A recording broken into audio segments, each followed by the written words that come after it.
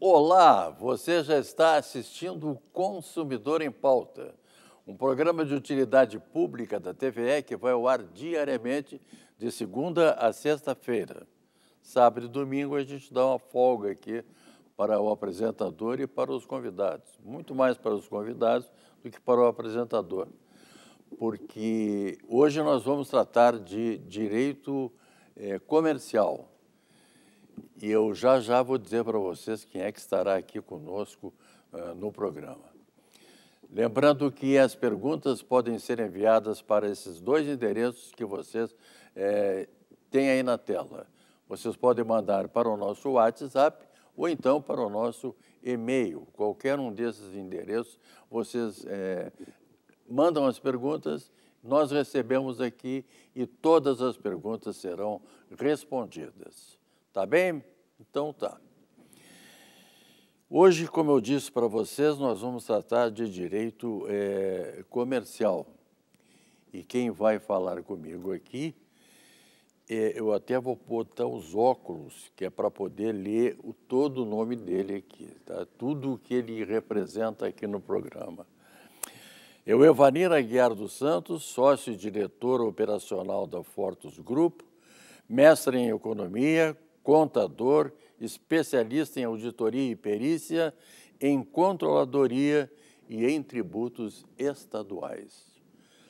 Tudo bem, Evaneira? Tudo bem, Machado, telespectadores. Mais uma vez, uma grande satisfação estar aqui junto contigo, esclarecendo as dúvidas dos nossos telespectadores. Hoje falando sobre um tema que atinge várias pessoas, milhões de pessoas. É mesmo, né? E tem muita gente que, que está é, ligada ao meio ou não? São milhões, quase 10 milhões de, de microempreendedores, então é muita gente, fora aqueles empregados e todas as pessoas envolvidas aí, né? Então, Evaneira, eu vou começar, é, tão, tem tantas perguntas aqui que eu vou começar fazendo a primeira, para que você explique para os telespectadores o que é o MEI e a quem se destina. Excelente, Machado. Bom, o microempreendedor individual, MEI, é uma pessoa jurídica, né? é uma empresa, não se confunde a pessoa física da jurídica, é uma empresa, o MEI. Às vezes a pessoa diz, eu sou MEI. Não, eu tenho um MEI, eu tenho uma empresa. Nada mais é que uma maneira muito simplificada, com um baixo custo, de formalizar atividades permitidas pela lei, né? para que os empreendedores aí do Brasil atuem de uma forma legal e atendam toda a legislação e ainda tenham alguns benefícios e vantagens, tanto para si quanto para a empresa. Estamos neste ano agora, Machado, completando 15 anos do microempreendedor individual. Isso, lá na Lei Complementar 128, lá de 19 de dezembro de 2008, foi criado, então, o microempreendedor individual. Então, este ano estamos completando aí é, 15 anos com mais aproximadamente 10 milhões de microempreendedores no Brasil. Que coisa séria, né? Eu tenho várias perguntas aqui, Vanir, eu vou ter que começar a fazer as perguntas para que você consiga responder o máximo possível de perguntas aqui que nos chegam é, para saber o que, que é o MEI ou coisa parecida. Que atividade que o MEI pode realizar, Evaneira?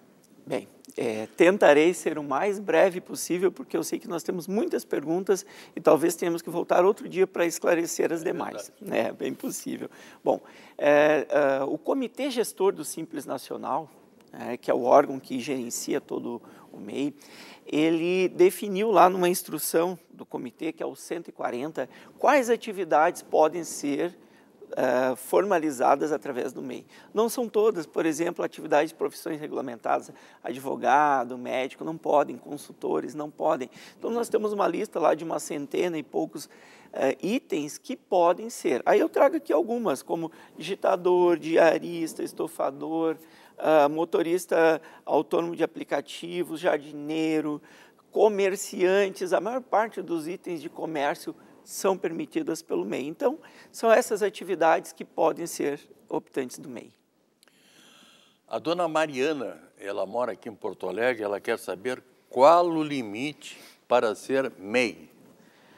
Bom, Mariana, o limite para ser MEI é 81 mil reais por ano. Poderá um mês não faturar, no outro mês acumular um faturamento superior. Se pegar esses 81 mil e dividir por 12, dá 6.750. Mas tem casos que a pessoa fatura 20, 30 mil no mês. Pode, pode, desde que no ano não ultrapasse os 81 mil. Aí eu cito os casos daquelas pessoas que colocam aqueles quiosques na praia, aqui no Rio Grande do Sul. Nós temos a, a, a estação quente, onde as pessoas migram para a praia. E muitos negócios se formam ali. Se naqueles três meses ali do verão a pessoa acumular no máximo 81 mil reais, pode ser do MEI. Então, 81 mil é o limite. Tem projetos aí do Ministério do Desenvolvimento, Indústria e Comércio de alterar para R$ 144.900 e criar outras regras de transição, enfim, para o MEI. Mas hoje, infelizmente, ainda é pouco, é baixo o valor, 81 mil reais. Aqui você já vai atender a pergunta do Rafael de Porto Alegre, que pergunta o seguinte: qual a consequência de ultrapassar o limite anual do MEI? É, o, o microempreendedor, ele, a primeira sugestão que eu trago é, Rafael, cuide mês a mês o acumulado de janeiro até o mês atual do seu faturamento. Porque aí nós temos duas consequências. Primeira, ultrapassou os 81 mil.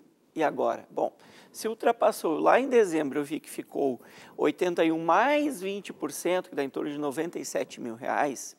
Neste caso, em janeiro, ele vai desenquadrar, em janeiro do, do, do ano seguinte, ele deixa de ser microempreendedor e passa a ser uma empresa do Simples Nacional, uma microempresa, por exemplo e ele vai pagar um, um, documento, um DAS, documento de arrecadação do Simples, referente àquela diferença do que passou os 81 mil.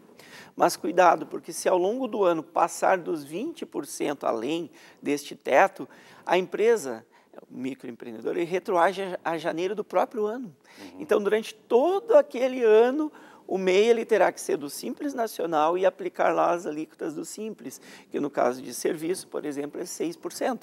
Então ele vai ter que recolher todos os DAS sobre o faturamento da, dele ao longo do ano que está acontecendo. E no ano seguinte ele não poderá ser do MEI, ele vai ser uma empresa do Simples Nacional. O que, que, eu, que eu sugiro? que acompanhe mês a mês o acumulado, se passou dos 81 mil mais 20%, 97%, peça a exclusão do simples. O próprio microempreendedor, ele deixa a eh, exclusão do MEI e passa a ser uma empresa do simples. Ele deixa de ser MEI e passa a ser uma empresa do simples. E ali, dali para frente, ele vai recolher eh, não retroagindo. Então, esse é o grande cuidado, Rafael. Ah, é, realmente tem que ter algum cuidado, porque é, passa de um ano para o outro, né, Vanessa? Exatamente, exatamente. É, tá certo. A dona Joana, ela é aqui de Porto Alegre também. Quais os custos mensais e anuais do, do MEI? Bom, Joana, o MEI, microempreendedor, ele tem o benefício de não precisar aplicar um percentual sobre o seu faturamento. Porém, ele tem já definido um percentual, um valor que ele vai recolher mensalmente, independentemente de faturar zero ou 6.750. O MEI ele vai recolher quanto? 5% do salário mínimo nacional, mais R$ reais se for uma empresa prestadora de serviços e mais um real então se for uma empresa de comércio a título de ICMS. Então esse é o valor que o MEI vai recolher. Hoje, né, então no ano de 2023, que o salário mínimo é R$ 1.320, o microempreendedor vai pagar R$ 66,00 de, de uh, eh, 5% do salário, mais R$ 5,00 de SS e 1 de ICMS. Puxa vida, hein? A dona Amanda, aqui de Porto Alegre, ela, ela pergunta o seguinte: Sou MEI em Porto Alegre e não estou conseguindo emitir notas fiscais pelo sistema da prefeitura. O que, que mudou? Onde emito as notas agora? Pergunta a dona Amanda. É, Amanda, excelente pergunta. Essa é a grande novidade que nós temos neste mês de setembro de 2023. A partir de 1 de setembro de 2023, os microempreendedores não podem mais utilizar o sistema das prefeituras para emissão de nota. É necessário utilizar o Sistema Nacional de Emissão de Nota, que é o emissor nacional tem um portal do governo federal que disponibiliza todas as ferramentas para que os microempreendedores façam a emissão da nota fiscal. Uh, inclusive, aqui eu vou me valer de um material do Sebrae, que preparou um e-book que está disponível lá no portal do empreendedor, este e-book que tem o um passo a passo de como os uh, microempreendedores podem fazer a emissão da sua nota. Neste primeiro momento, o governo federal trouxe esta mudança para os microempreendedores, mas num segundo momento isso valerá para todas as empresas, tanto do Simples Nacional, lucro presumido, lucro real, prestadoras de serviços utilizarão este emissor nacional. Então, Amanda, o primeiro passo é você acessar o NF, Nota Fiscal de Serviços Eletrônicos, NFSE, do governo federal. Nós temos alguns sites semelhantes, mas busque sempre entrar no site do governo, que tem sempre o gov.br lá. Né? Então, dentro do site do governo, você vai ter lá o, a possibilidade de utilizar o sistema de emissor. Lá você vai fazer um cadastro da sua empresa para a emissão da nota. Muita atenção, porque esse cadastro ele é feito, num primeiro momento, utilizando a conta do gov.br da pessoa física, do titular daquele microempre... Eh, daquela microempresa. Né, daquela microempreendedor individual, vai ser utilizando o CPF do microempreendedor e a senha do gov.br. Acesse então o NFSE uh, disponível, inclusive através do aplicativo, o app do governo federal, em que no momento que você fizer o cadastro lá no NFSE, eu repito porque a pessoa que está nos assistindo aqui claro. pode ir lá na internet e, e digitar isso, você vai fazer um cadastro das suas atividades iniciais, e uh, com o seu login e senha depois, e com essas atividades pré-cadastradas, através do app, que lá no seu smartphone você pode baixar lá uh, o NFSE, e ter no seu smartphone você vai poder emitir as notas fiscais e gerar o PDF da nota para transmitir para o seu cliente, inclusive pelo WhatsApp. Então essa é a grande mudança temos alguns cuidados importantes que a pessoa, ao fazer esse primeiro cadastro, ela deve se cadastrar como CNPJ. Né? Também o microempreendedor ele está dispensado de informar o percentual aproximado de impostos. Então, marca lá que está, é, desmarque essa opção de, de, de que tem que informar o percentual aproximado de impostos, por que, que eu falo isso? Porque às vezes pode dar algum erro e a pessoa fica travando, que neste primeiro momento a gente aconselha que quem está nos assistindo, está tentando emitir a sua nota, que mude às vezes o navegador da sua internet. Alguns navegadores não dão todo o suporte, então é importante a emissão não é mais no site da prefeitura, agora é a partir lá do sistema do governo. Evanira Guiar, nós vamos fazer o seguinte, nós vamos fazer um pequeno intervalo, mas o nosso intervalo aqui é bem brevezinho. A gente vai, toma só um gole d'água e volta.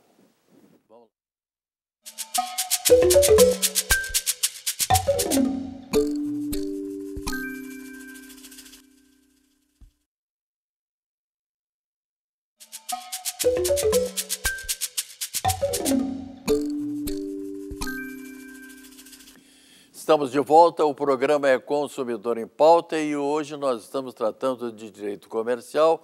Estou conversando aqui com muito prazer, diga-se de passagem, com Evanir Aguiar, que é do Grupo Fortus. É, Evanir, quem nos pergunta agora é a Ana Paula, ela mora aqui em Porto Alegre também. Ela quer saber quais são as vantagens de ser MEI. Boa pergunta, Ana Paula. É, acredito que todos os microempreendedores que formalizaram lá os seus negócios fizeram essa pergunta e depois se formalizaram.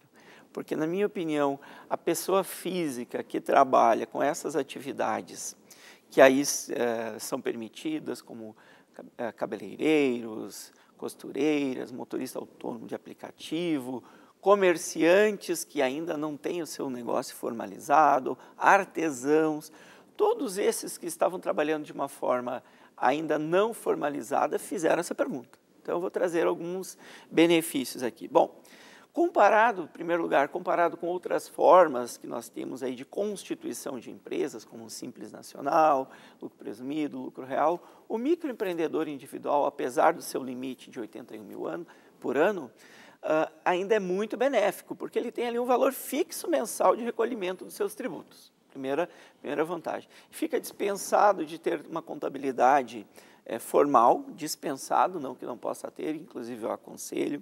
Vai ter um CNPJ para atuar como uma pessoa jurídica, poderá emitir nota, poderá ter os benefícios bancários, que muitas linhas uh, bancárias que o governo traz aí para os microempreendedores, que formalizados poderão utilizar, ter acesso a produtos uh, bancários, recolher impostos de valor fixo e é uma vantagem muito importante que é a, a contribuição previdenciária. Então, uma série de benefícios aí que a gente acha super importante para os MEIs. Tem a pergunta agora aqui da dona eh, Paula, que não é a dona Ana Paula, mas que mora aqui em Porto Alegre também. Ela diz o seguinte: posso ser MEI e ser sócio de uma outra empresa? Pergunta a dona Paula. Infelizmente, não. Infelizmente, não. Uh, tem a sua lógica, né? Porque o microempreendedor ele tem essa característica do trabalho ali muitas vezes individual, né? Uh, mas não, nem, não pode ser nem administrador, nem sócio, nem titular de uma outra empresa. A dona Maria Ana, é, que aqui não diz de onde é, ela, ela pergunta o seguinte: posso ser empregada e MEI ao mesmo tempo? Pergunta a dona Mariana.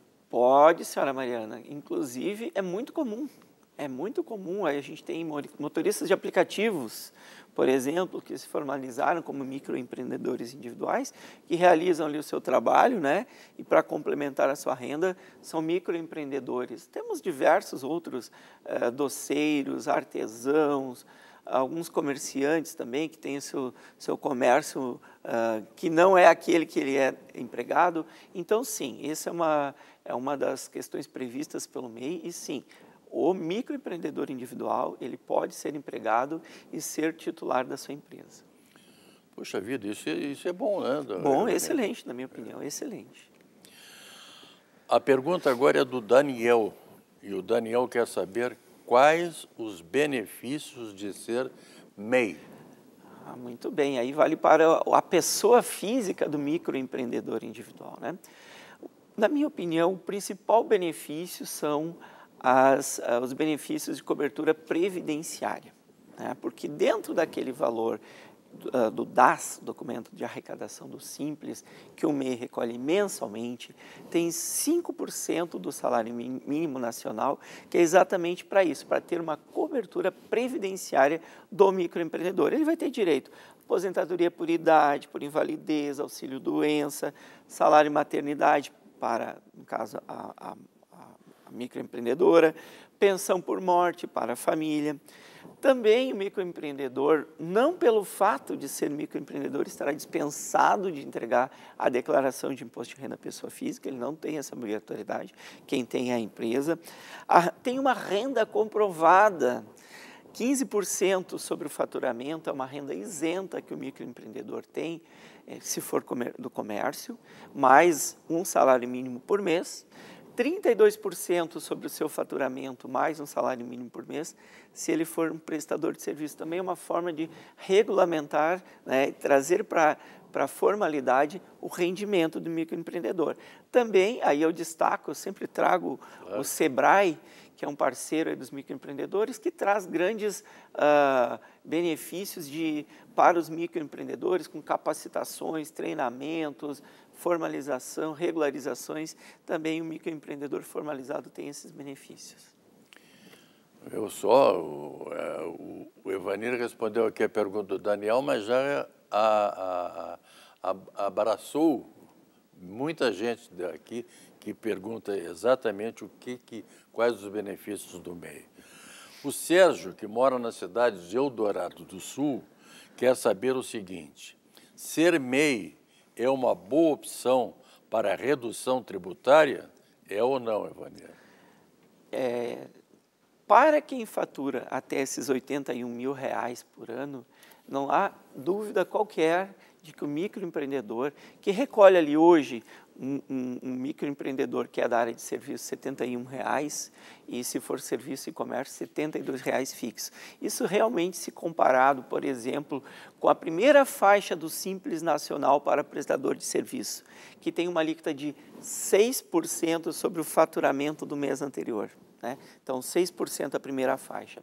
Então, se eu pegar ali 6.750, fazendo o exercício, que é o valor mensal do MEI, e aplicar estes mesmos 6%, Machado, eu vou ter lá um valor, eu fiz aqui uma, uma continha, 405 reais.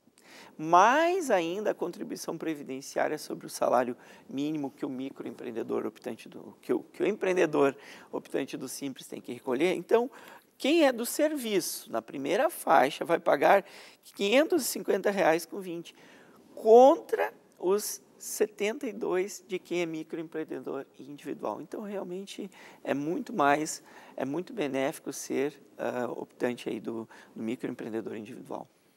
Que bom, viu? O, o Ivanildo aqui, normalmente ele traz... Eh, não, não, ele traz notícias balanceadas aqui para a gente ele traz boas e más notícias. Né? Mas tá bom. A pergunta agora é do Paulo Roberto, e ele mora aqui em Porto Alegre também. É, pendência de pagamento pode excluir do MEI? Pode, Vânia? Sim, obrigado pela pergunta, Paulo Roberto. Sim, não, não apenas pode, como exclui do MEI é, e pode excluir retroativamente ao aquele primeiro mês ou aquele ano lá que a pessoa deixou de recolher o seu a sua contribuição, o DAS, documento de arrecadação do Simples.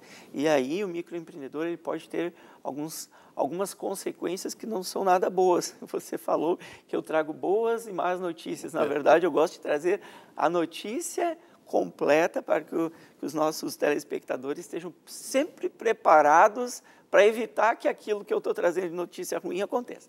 Mas nesse caso, Paulo Roberto, além de excluir do MEI, você vai ter que, poderá ser retroativo, poderá ter que pagar multas, poderá ser inscrito em dívida ativa da União e não vai prescrever aquele valor. Às vezes o microempreendedor, acreditando que é um microempreendedor, é um regime mais simplificado, não vai ter maiores consequências, mas sim, se acumular aí por alguns uh, meses, poderá ter consequências graves, inclusive uh, voltadas para o CPF do titular daquela micro, uh, daquele microempreendimento. A pergunta agora é do Davi, ele mora na cidade de Eldorado do Sul também. Ele quer saber o seguinte: MEI pode ter empregados? E quais os custos para ter esses empregados? Excelente, Davi. Está sendo é, é, discutida a proposta para aumentar o número de empregados, porque hoje é um. O microempreendedor individual ele poderá ter um empregado e o custo para esse, é, é para esse microempreendedor será de 11% né, do salário mínimo nacional, sendo ou do salário mínimo da categoria, se esse profissional tiver um salário mínimo previsto em acordo com a convenção coletiva. Então, será 3% a título de contribuição uh, para o INSS, que o patrão no caso a empresa vai é, pagar, e 8% a título de fundo de garantia. Também haverá o desconto da contribuição previdenciária deste empregado, e o empregado ele vai ter todos os direitos como um empregado de uma empresa normal todos os direitos. Vai ter ali férias, décimo terceiro, rescisões com todas as suas verbas rescisórias, mas o benefício aqui para o MEI é que ele vai pagar apenas 3% de INSS e os 8% do fundo de garantia. E, infelizmente, hoje é somente um empregado que pode. A pergunta agora é do Paulo Henrique, e o Paulo Henrique mora na cidade de Guaíba. Estando com pendência de recolhimento do DAS, eu posso entregar a declaração anual do MEI? Posso parcelar os débitos do MEI? Pergunta ao Paulo. Boa pergunta, Paulo. E queria mandar um abraço a todos os nossos telespectadores aqui da região metropolitana, que a gente tem uma audiência realmente muito grande, todas as regiões, todas as cidades aqui que a gente está tá ouvindo, né? Sim, é, posso fazer a entrega da declaração anual do mês, sem problema nenhum, e posso parcelar em até 60 vezes o débito com Simples Nacional, valor mínimo de 50 reais. Evanira Guiar, nós chegamos ao final de mais um Consumidor em Pauta, que hoje tratou. É, o Evanir diz que traz boas e más notícias. Boas notícias com o Evanir Aguiar, que é do Grupo Fortus.